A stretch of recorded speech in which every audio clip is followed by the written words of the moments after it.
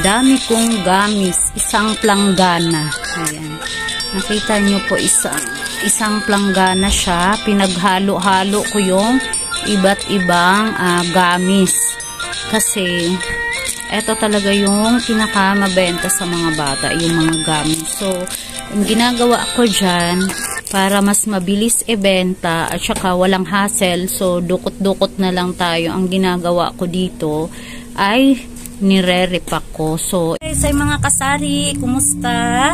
So, welcome to my channel. Kung bago ka sa aking channel, don't forget to subscribe and hit the notification bell para updated ka sa susunod ko pang mga videos. So, nakita nyo, ang dami kong mga gamis. Isang plangganang gamis. So, ayan, uh, limang klasing gamis ito alam naman natin itong gamis ay sobrang mabenta talaga sa mga bata. So walang panapanahon talagang tuloy-tuloy ang benta nito sa mga bata. Mili ako halos ano, limang klasing gamis ito. Ayan, halo-halo na dito. Ibinuhos ko na kasi may gagawin ako ngayong umaga. Gre-repack ako. So, ayan. Nakita niyo tong plastic. Ang gamit kong plastic is uh, 2 by 10 para ano, medyo malaki-laki. So, itong ginagawa ko para iwas hassle na. So, isabit mo na lang. Ang gawin mo na lang, uh, bigay ka lang ng bigay. So, nagre-repack ako ng uh, ah, 5 pesos. Iba-iba. So, katulad niyan, lagay ko ring. Yan, mata-mata. Yan. Tapos, strawberry. Yan. Tapos, worm. Yan. Yan. So, ito, 5 pesos. Yun. Talagang, ang limang piso, limang peraso din naman. Ayan. So, ganito lang ang ginagawa ko. Nire-repack ko lang siya. Palima-lima. Para, pag nakita nila, nakasabit, ang ganda-ganda, at saka kompleto na. Lahat na gamis na, ano, nakikita nila sa, sa display mo, nandito. Yan. Paiba-iba So, limang piso, o, limang piso pera nila, bunot ka na lang ng bunot. So, yan yung ginagawa ko para mabilis, mabilis ang benta at attractive ito. Pag nakasabit ito sa tindahan natin, nakikita nila, so, gustong gusto nila. Ayan, may heart heart. Ayan. Ito worm. Ring. Ayan. So, anim na klase pala ito. Ayan. So, ganito lang. So, kailangan natin mga mamis na, mga kasari na, para paraan tayo sa tindahan natin. Yung, kung saan tayo komportable, makaiwas tayo sa hassle kasi minsan naman din talaga ang daming bumibili sunod-sunod. So itong mga bata kapag talagang bibili sila pa isa-isa Ako magsisigaw yan kapag hindi mo na bigyan. So, ganito. Kasi mga kasari, bihira ng bata ngayon na piso na lang yung pera. So, kadalasan talaga, yung pera nila, limang piso. Kasi, nanghihingi sila sa mama nila. Hindi na nila tinatanggap yung ano, hindi na nila tinatanggap yung pag binigyan sila ng piso So, salos itapon na nila. Iba yung mga bata ngayon, hindi katulad natin dati, no? Sa panahon natin, ang piso, sobrang malaking pera na yun nung time na mga elementary pa tayo. Ngayon, ako, limang piso na, hindi na piso. So, ayan. O, diba? Ang ganda-ganda.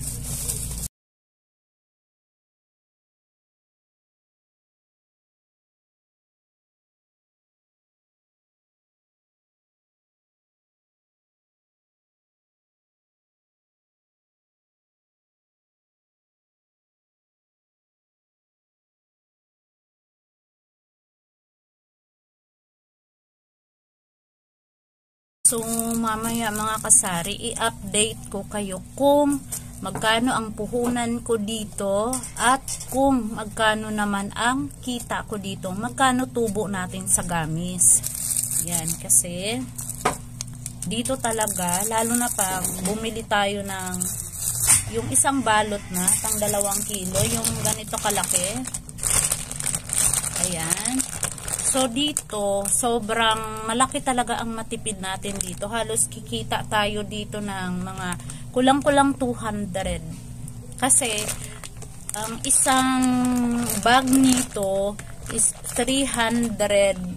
320. Depende sa store kasi kahit sa Divisoria, iba-iba yung presyo nila. Merong 320, may 340, may 350, 360, ganun. Yun yung range ng bentahan nitong mga uh, mga gamis.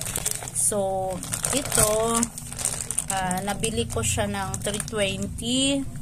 So, ito naman, subo ko na talaga. Ang laman nito, nasa 500 talaga. Kasi ito, lagi na talaga akong bumibili nito nasa 500 ang laman nito. Kaya malaki talaga ang tubo pag ganito. Yung malaking bag na. Kasi yung ibang gamis naman, tulad nito, nabili ko na lang siya ng ganito. Kasi yung namili ako ng ganyan, hindi, wala yung iba. So, ito yung mga nakita ko.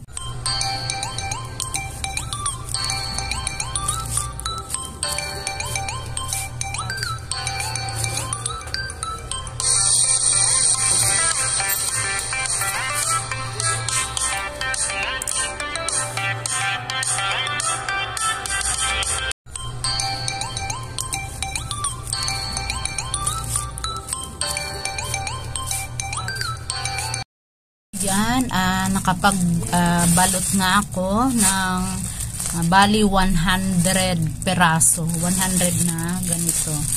Pero hindi ko lahat na balot kasi wala na akong plastic. Ang laman nito is 100 lang. So, naubos ko. So, eto na. Hmm, ba, ang ganda tingnan. Yan, ganito na siya.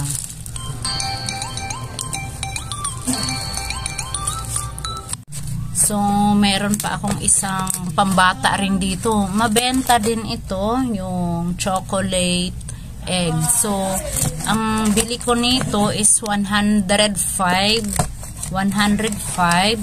Ang laman niya ay 30 pieces.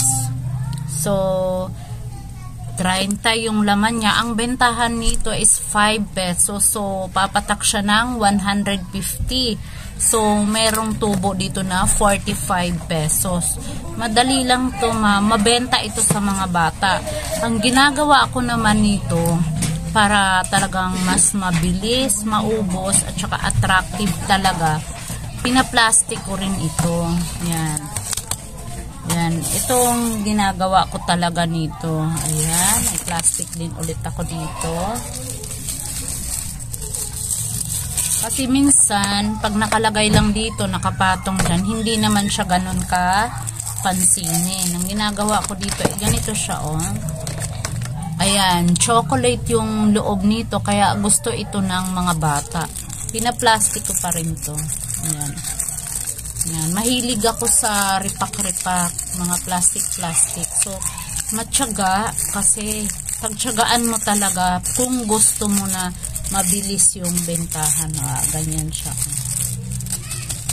Yan, ganito yung ginagawa ko. Para mas pansinin siya at saka mabilis siya, mabilis maubos. So, mabilis maubos. So, bili ka ulit. So, di masama sa bawat isang ganito, meron kang 45 pesos. So, ma mabilis ang pera sa mga pambata na mga pagkain.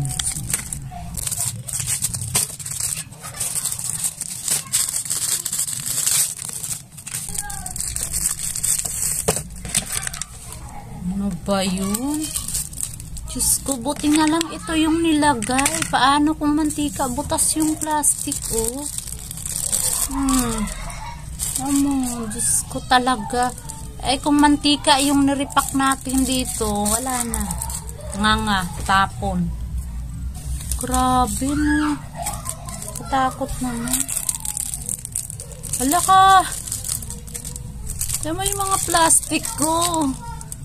Mga sira. Oh. Nangyari.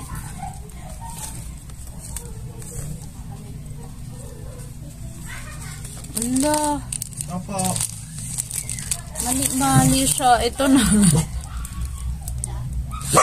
ano nangyari sa mga plastic na to? Ano nangyari sa plastic na to? Oh, yan nga ba? Ito, butas. Ito, butas. Ano nangyari? Ah, dito, wait lang ko. Ano ba to? Ay, ito okay na siya. May pit na siya. Ay, nako. Hmm, Tawa naman ako sa plastic na to. Ano yan? Yung pera, yung sa pera pala. Cash out? Ah, sige, sige. 500. Dala ka 10 piso? May, may barya ka dyan?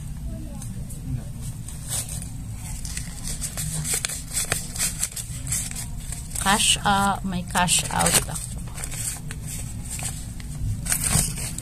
500 sa Gcash. Ang bawas, 10 piso.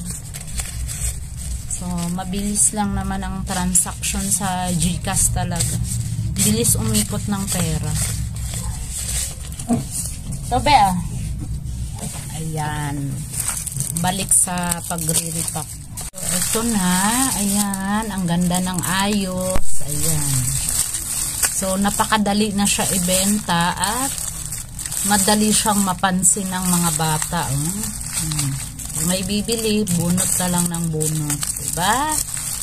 So, tiyaga lang talaga tayo mga kasari para ah, maging ah, talagang kaaya-aya sa mga bata yung mga paninda natin.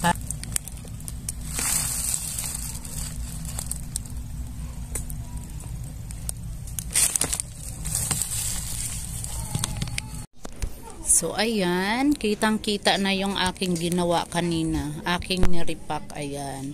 So, marami pa akong repakin. Wala, hindi, hindi ko pa talaga nagawa iba kasi marami akong oras. Mas pansinin siya, yung ganyan. So, meron din naman ako na nakalagay lang sa mga baso. Ayan.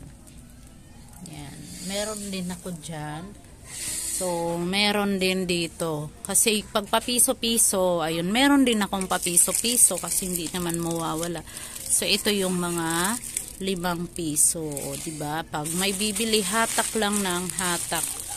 So, napakadali na lang. Ayan.